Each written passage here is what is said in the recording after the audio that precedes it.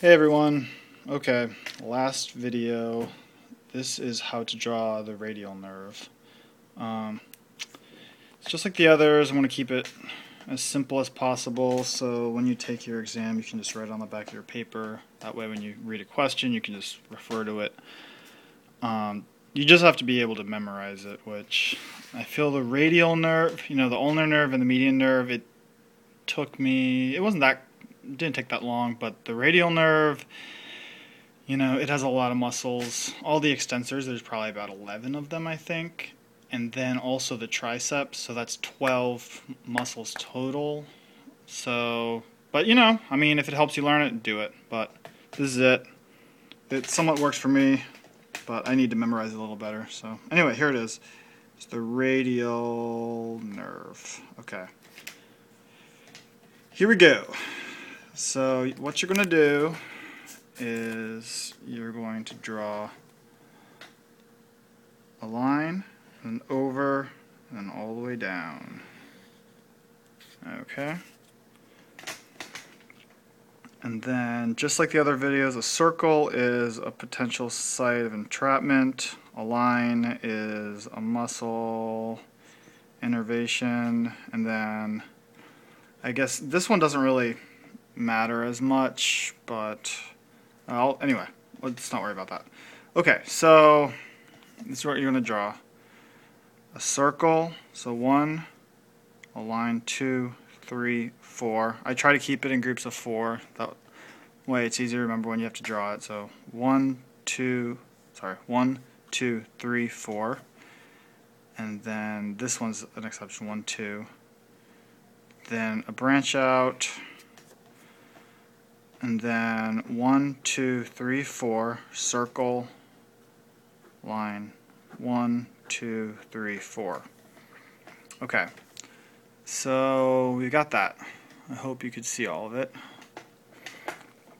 So your first site of intra so this right here is your radial nerve coming down from the brachial plexus and then right here it represents it going around the back of your arm, so the posterior side.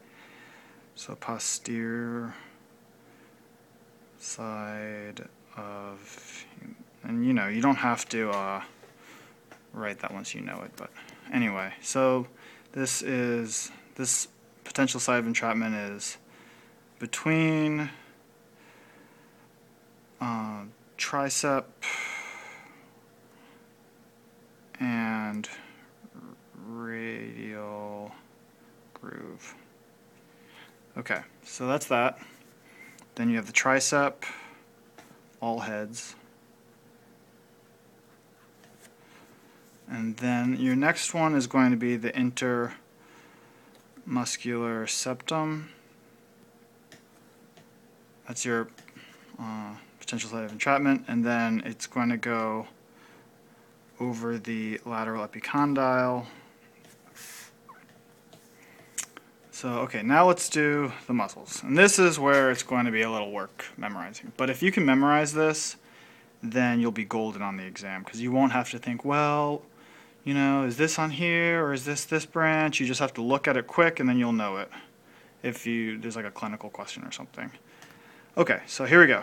So we have oh there's one also there's one circle right here, sorry. We'll find you'll see that in a second. So we have the E CRL, that's extensor carpi radialis longus, brachioradialis, and then this is going to be your superficial branch.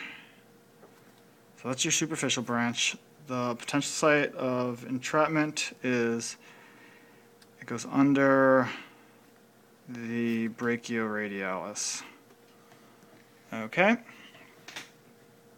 Next we have, so after this we have the deep branch of the radial nerve, and that's going to be the ECRB, extensor carpi radialis brevis, extensor digitorum, extensor digitorum minimi, and extensor carpi ulnaris. And then next site of entrapment, that is the arcade of Frohse. That's where it goes in. It's like it passes the cubital fossa and then goes in underneath the supinator. And there's the supinator right here. Okay, sorry if the camera's a little shaky. Um, I did not study cinematography in college, so. Um, okay, so and then you have your posterior interosseous nerve. So that's after the arcade of Frohse. And you have the abductor pollici longus, extensor pollici brevis, extensor pollici longus, and extensor indicis. Indicis? Excuse me if it's that's the wrong pronunciation. You know. Anyway, so and then here it's the cutaneous for let me look that up really quick, sorry. Uh, cutaneous of dorsum of thumb and hand. So I have to memorize that. And you do too, I guess. Um, so that's about it.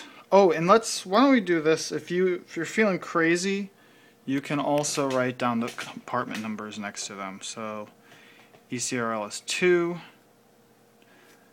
uh, BRC, or BR is nothing. So this is also 2, 4, 5, 6, 1, 1. Uh, oh, can you see that? Sorry. Uh, EPL is 3 and EI is 4. So if you have a question on the test, you can just refer to it back really fast before you forget it. Alright, so that's it. Uh, I hope that was sufficient for you. Here's it is in full. Thanks so much. Cheers.